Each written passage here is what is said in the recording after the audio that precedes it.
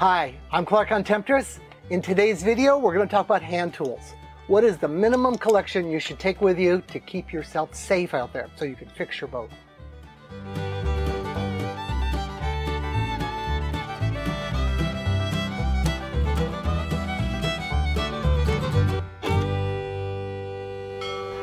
I'm an older guy and I've been uh, doing my own work for all my life. So I've, like all older guys, I've got a huge collection of tools. Um, this boat, uh, uh, just so much mass of tools, it's crazy. But they're all like my children, you know, I, do, I don't want to live without them. I might need that one sometime. But I decided to do a little video on tools because you definitely, definitely want to have some tools even if you don't know how to use them, because someone could help you with the knowledge, but if you don't have the tools, you're out of luck. And I think I would like to talk about the minimum tools you would take with you.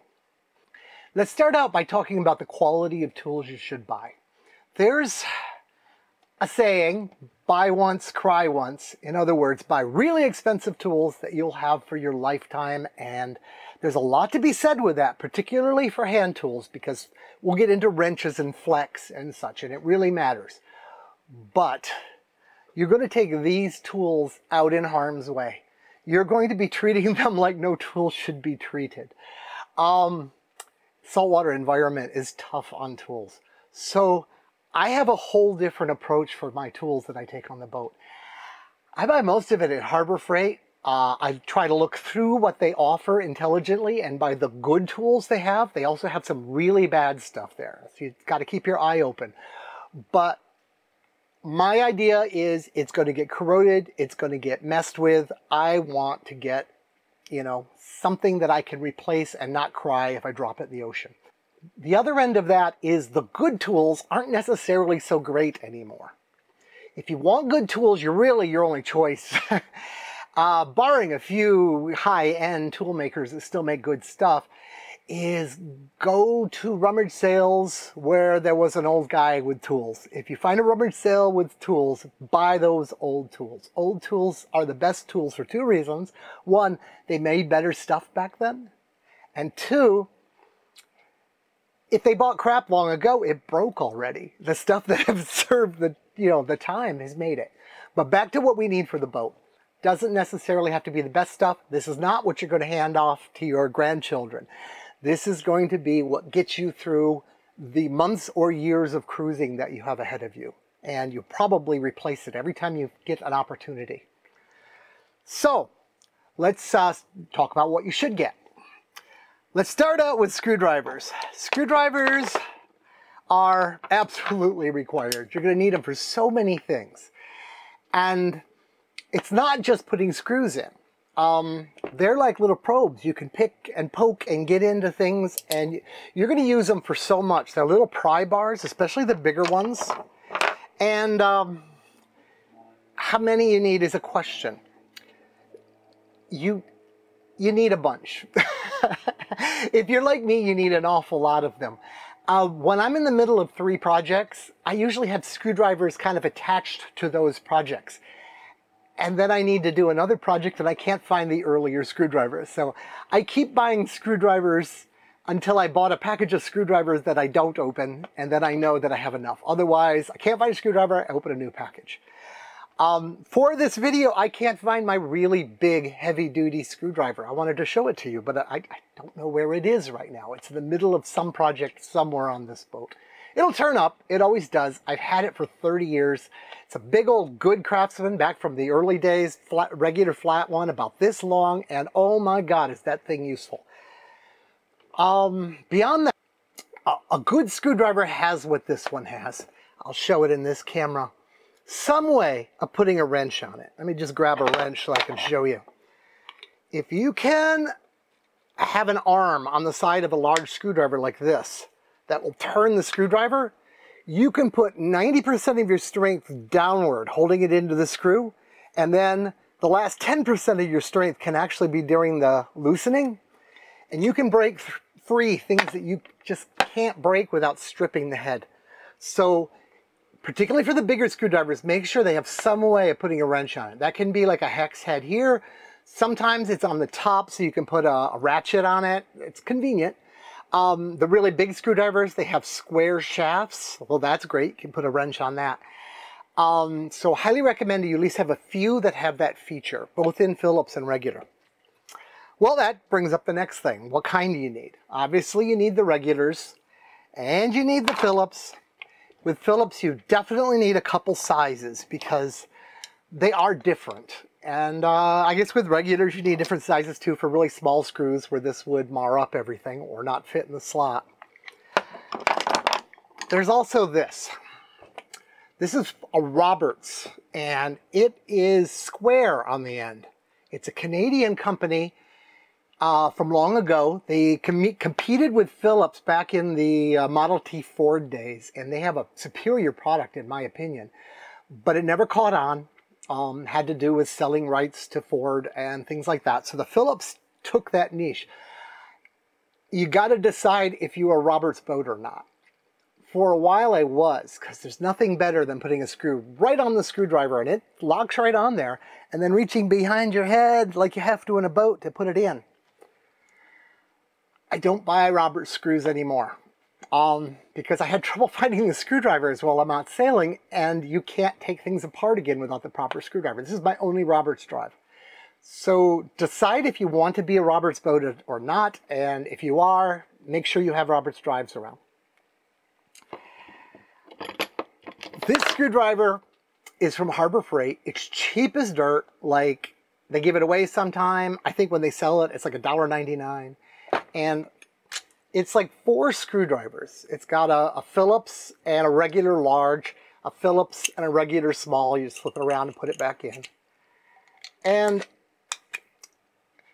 you would think this thing would fail and get rusty and not come apart, but they do surprisingly well on a boat.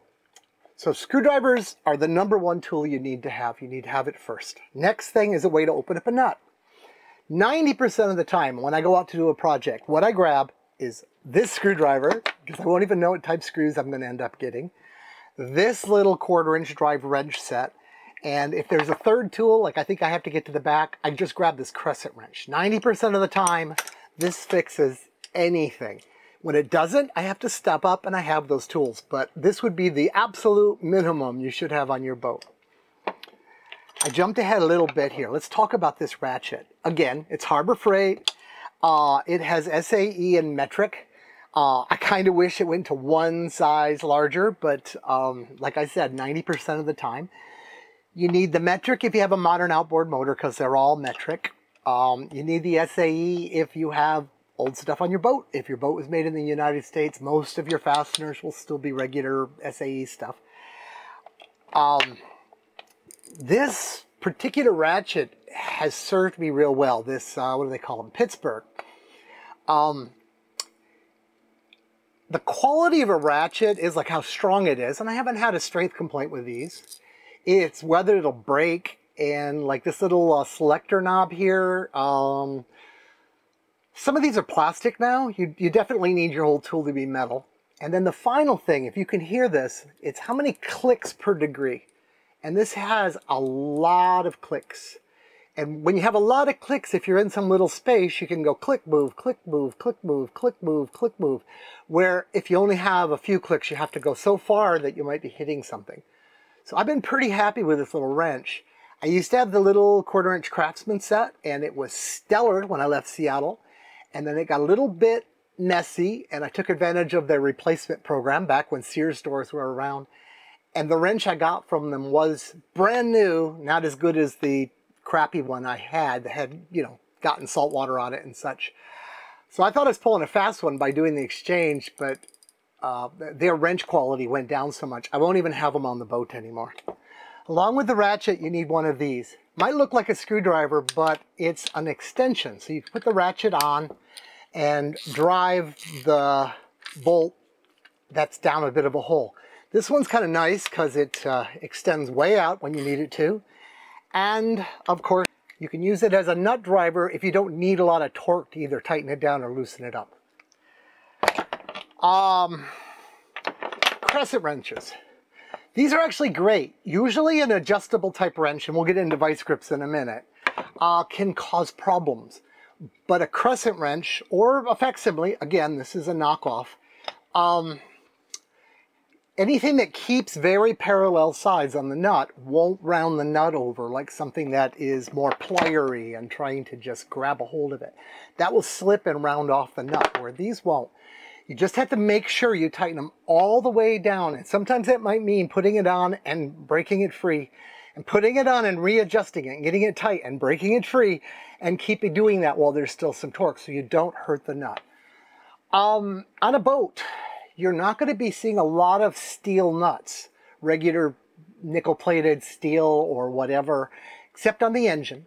What you're going to find is stainless steel or bronze or things like that. And these metals are a lot softer. So it's important to treat them really, really well.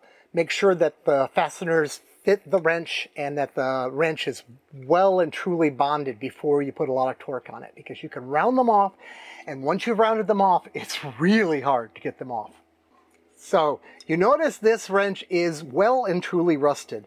Um, this one has been underwater multiple times to do a job while I'm wearing a, a hookah and I'm down there wrenching underwater. Things having to do with the propeller, for example. Uh, crescent wrenches are great because they open way up. I have bigger ones on board uh, because it's just so handy. Also, often it can be your longest single wrench. You don't want to try to bolster your wrench when you're uh, when you're um, underwater, for example.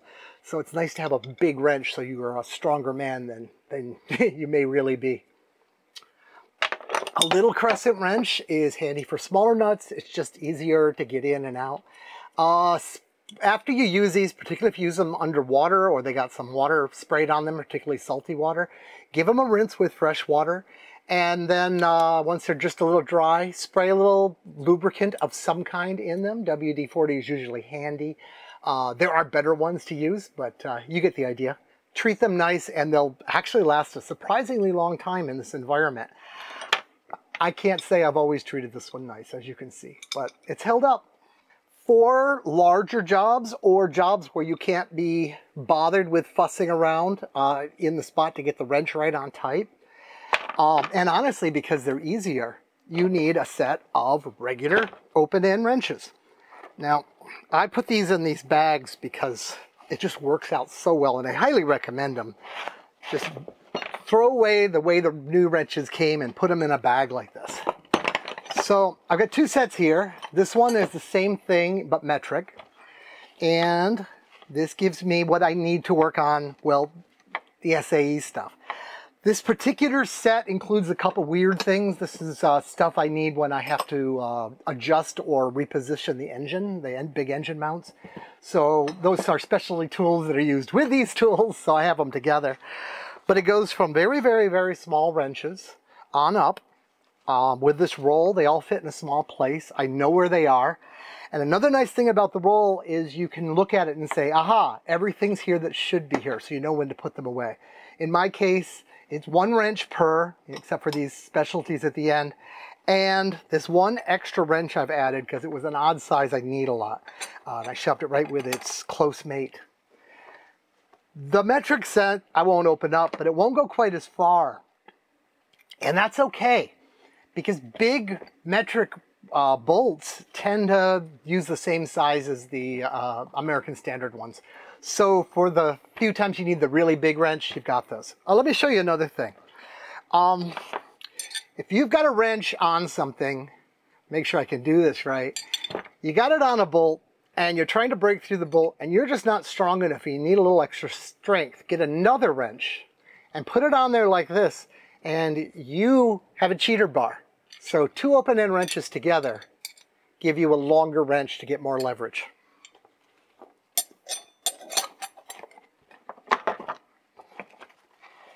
When you're done, just give them a little roll up and put them where you store your wrenches so they're available for next time. Pliers. Can't be without them. And they're specialty pliers like, these are referred to as dikes or diagonal cutters or whatever you'd like to call them, but they, they're for cutting things and these are particularly useful for cutting um, wire ties, but you'll use them a lot. And then um, needle nose pliers, can't live without them to reach into little spots. This is a, a tool I picked up at West Marine years ago, and it's kind of interesting because it's kind of two kinds of pliers. I never use this end, it seems. I only use it as a needle nose. Um, so you might think it'd be awkward, but it has a nice handle, and most importantly, you might notice this one's a little sticky. I haven't used it in a while, and it needs a little lube. This one's never gotten sticky. It's held up to the marine environment really great. So anyway, that's why I have this one. Along those lines, you need vice grips. Um, vice grips are handy for when something gets messed up because you can break it free. Sometimes because a wrench wasn't put on right or it just stripped. This gives you hope of getting it free. It grabs irregular shapes, and that's really good because you run into irregular shapes and things you need to grab. But this is not your first resort. If you use this first, you probably will destroy the nut and then you won't be able to do anything with it later. So this is more of a last resort. I always carry these little vice grips. Um, I use these an awful lot, more than you would think. They can reach in very precisely, and both vice grips have another advantage. They give you a pretty tremendous squeezing improvement of your strength. I mean, obviously you can't just crush something, but if you needed to get in there and get a hold of something, a vice grip is stronger than regular pliers because of its little mechanical advantage. Can't tell you how many times I need to get the head of a, a screw or something and break it free before I can get it loose, and this has saved the day. I've gone so far, I don't have it here right now, but I bought a stainless steel version of the vice grip uh, that comes in a little everyday carry kind of a deal. And in its handle, there's a jackknife and a screwdriver. So it's kind of trying to be a Leatherman. Um, it's a nice tool. I don't use it though. I, I just me. Uh, if you carried one of those around, it would be a really handy tool to carry. Finally, although I've said uh, buy knockoffs for things, don't buy knockoffs for vice grips. Buy the genuine vice grip from Irwin. They are superior and they will screw up the fastener a lot less. It all has to do with how much the tool flexes and the metal that's used to make the tool. And um, it's one of the times just by the real Irwin vice grip. And surprisingly, the Irwin company, who makes very nice tools, isn't terribly expensive. I've been very happy with everything I bought from them. Probably last on the hit parade of something you can't live without are Allen wrenches. Allen wrenches are kind of like a reverse wrench where this looks like the nut and the, the actual nut uh, looks like the wrench, kind of like a socket backwards. You're going to need these for so many things and you're going to need metric and SAE. Again, I got these from Harbor Freight. These do 99% of everything. I do have a big set that I had to buy because I needed some weird off between this and this kind of a wrench.